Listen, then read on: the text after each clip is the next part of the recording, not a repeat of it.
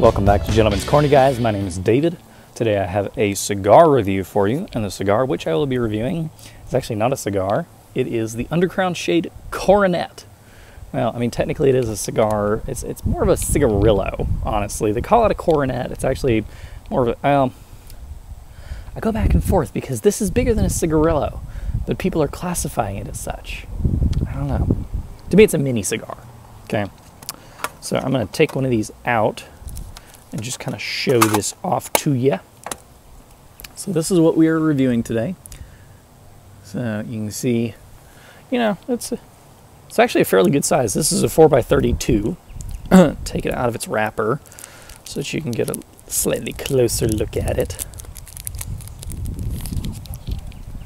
So there it is.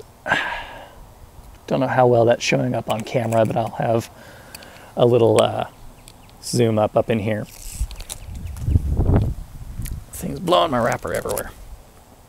Okay, so uh, this is it. Let's go ahead and uh, I'll just read off some of the stats for you. So this is the Undercrown Shade Coronet. It is produced by Drew Estate.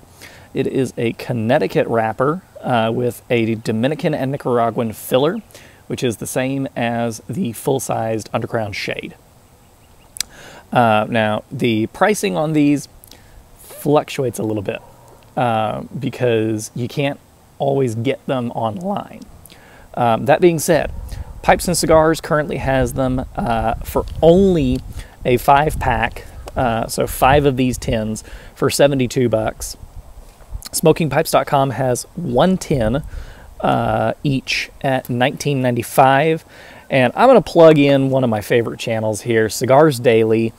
Um, great, great guy. I love Tim. Uh, he's my favorite of the pair. No offense to Bradley.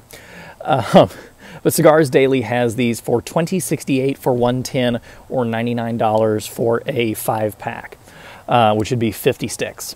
So not bad considering. Um, this is, here, I'll open this up so you can see kind of how they all sit in here. So that's what the inside of the tin looks like. You've been seeing these on Instagram and Twitter uh, a bunch recently, but they all sit like that. Um, I just, I kind of love that it's like a little cigar, like it's even got a band and everything, which is kind of neat. Um, now getting into the notes about this, uh, taste, I am giving a 4 on this. Flavor intensity, I'm giving a 4. And mouthfeel, I am giving a medium. The room note, I'm going to give a 3. I'm going to actually just kind of cut it middle of the road just because um, you know, if you like the smell of tobacco, you're going to like this. If you don't like the smell of cigars, you're not going to like this. Um, and that just kind of seems to be the case with everything. Now, these are machine made. Um, these are not hand rolled, obviously.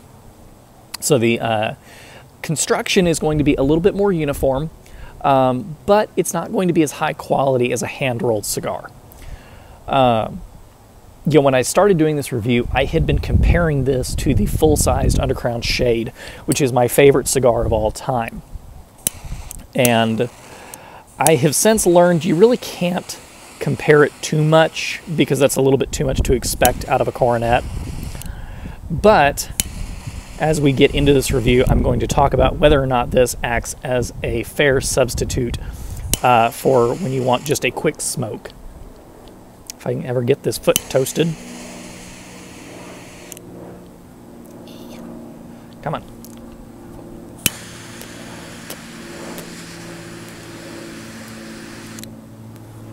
Mm. Okay. Now,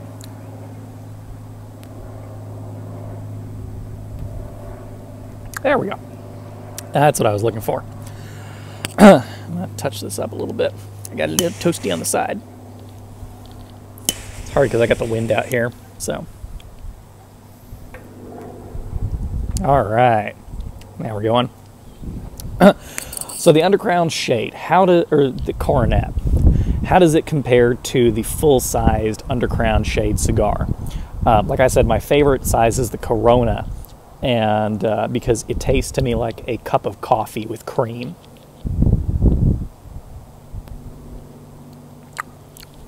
And I will say that the um, the coronet, to some extent, does live up to that. Even out my burn a little bit. I over torched it. Joy of smoking outside. Anyway, um, the the uh, the coronet does live up to that to some degree. Um, what I'm getting is notes of uh, coffee, cream, a little bit, but it's a little bit more spicy than that. Um, I'm getting some cloves, some spice, uh, some dark wood. Um, I wrote it down here cherry or dark fruit.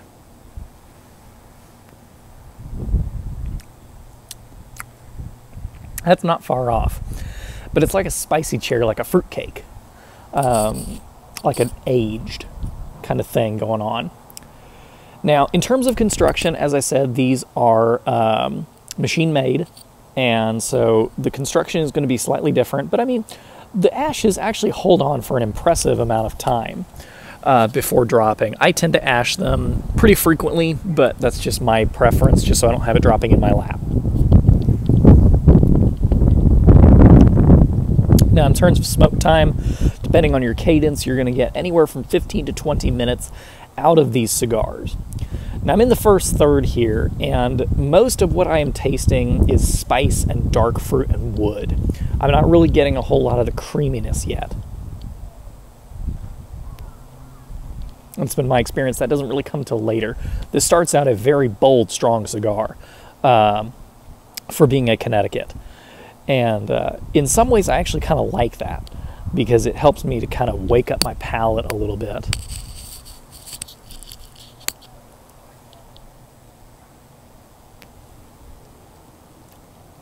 But on the other hand, where I could smoke the Undercrown Shade, the full size cigar first thing in the morning, I don't think that I could smoke this first thing in the morning. I just I don't feel like it's that mild of a cigar. So, in terms of comparing it one to one with its big brother, I don't think that the comparison is there. And maybe I'm a way off base, but I just don't feel like it's there. I feel like this is a little bit spicier, maybe a little bit closer to like what the sun grown tastes like.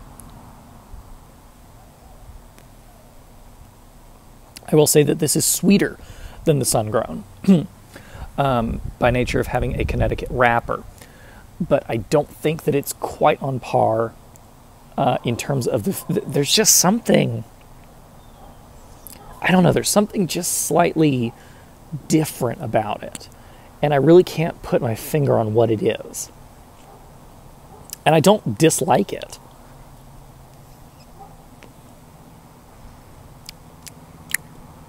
I just I don't know I don't know that this is um, really comparable to my favorite cigar. It doesn't scratch the right itch. Um, now, in terms of the mouthfeel, uh, as you can see, the smoke is fairly thick. Um, this is a pretty powerful cigar for being such a little dude. So I'm, I'm very impressed with it, and the presentation is very nice. Um, you know, I, I, often don't like coronets or um, cigarillos because I feel like they look cheap. They look poorly made. Um, and these I don't know if it's just adding the band or something about them just feels a little bit more well put together. They feel a little bit sturdier in the hand. Um, they feel a little bit um, classier, I guess, you know. So, we're getting into the second third now. And normally I would be you know transitioning between thirds. And uh, for something this short, I just don't feel like that's necessary. Um, I may transition as we get into the final third, but so we're getting into the second third. Most of what I taste is black coffee. Um, the creaminess is still not quite there. There is a spice to this, and uh, it definitely tastes like freshly fle- freshly brewed black coffee. Try saying that five times fast.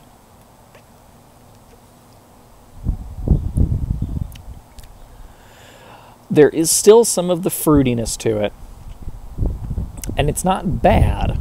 It's a little distracting.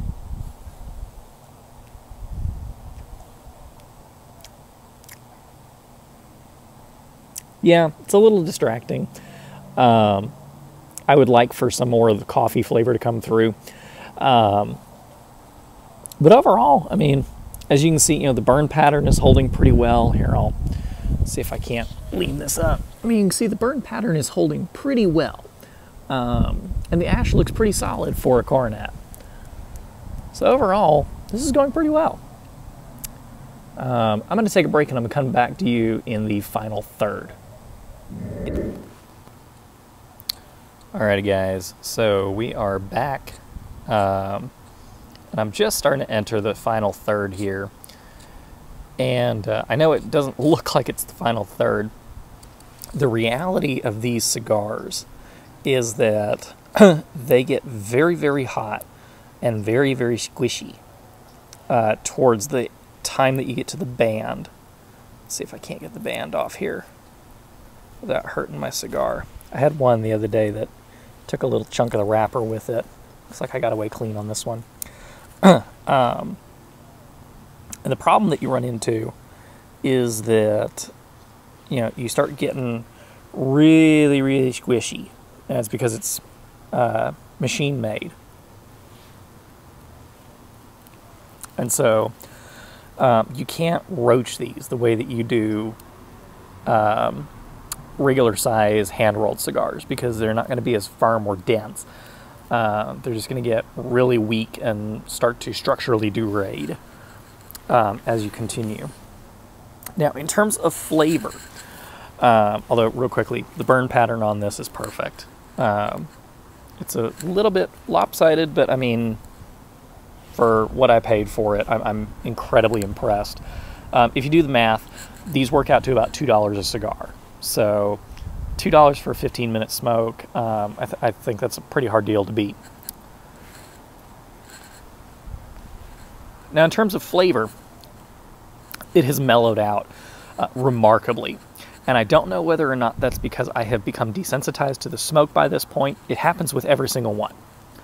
Um, and it doesn't matter if I'm drinking, it doesn't matter if I'm not drinking or if I've eaten, but it mellows out in the final third uh, and becomes much more reminiscent of the original Drew Estate Undercrown shade.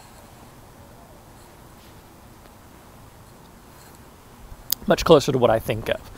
Now, I say close because it still has some of that dark fruit kind of note in it. Um, and it lacks that kind of coffee and creamer vibe that I love in the original Undercrown shade. Uh, but overall, really, really good. Solid flavor, very intense flavor. So, you know, I had originally bought these to be a not a substitute, but a you know a quick version of my favorite cigar. Um, something I could bring out on a work break um, when I don't have 45 minutes to sit down with a Corona uh, and smoke. And uh, would these fill that gap? I think so. I think they would.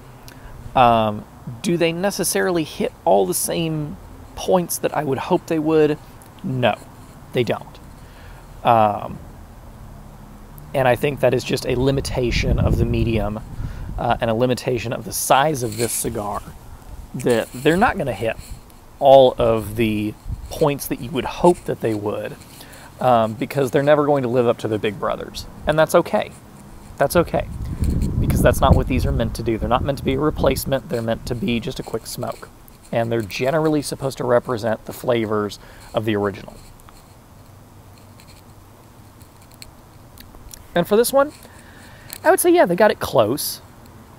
Um, like I said, there's points that I would like them to hit, but overall, it's close. It's close. So let's review. So this is a Connecticut wrapper with Dominican and Nicaraguan filler.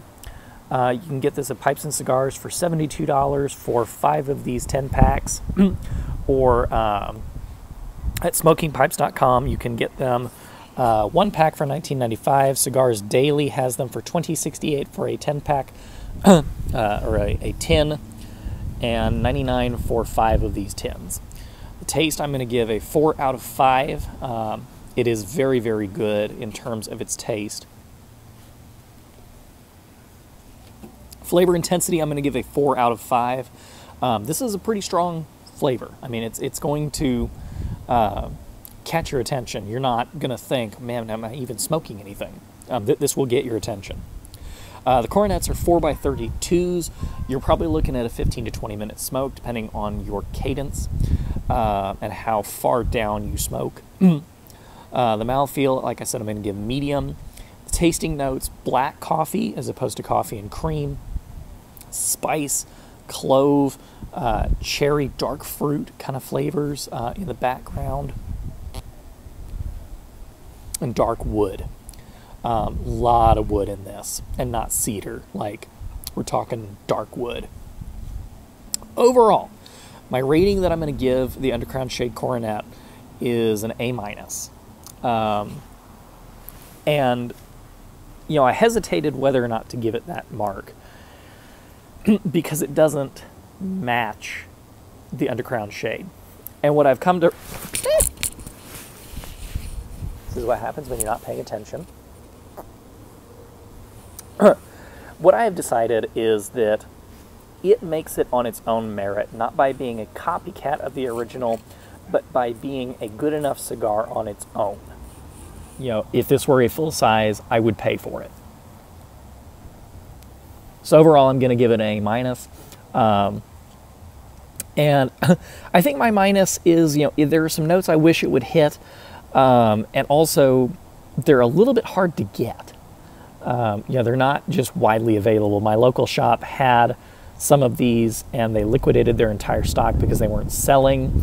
So it's kind of hit or miss whether or not your shop is going to have them in stock or keep them in stock. Um, but generally, I think you can get them online. You can always order them through drewestate.com. So, that being said, um, that is my review of the Undercrown Corona. Um, it has been approximately 20 minutes since I began smoking, just to give you an idea of the time frame.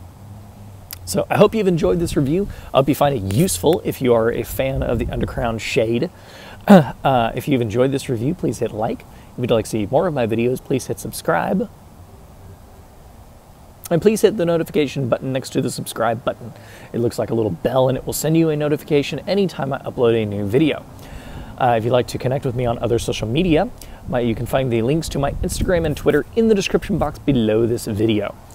Uh, I hope you're having a fantastic day wherever you are and whenever you're watching this. This has been a cigar review from Gentleman's Corner. My name is David. Have a good one.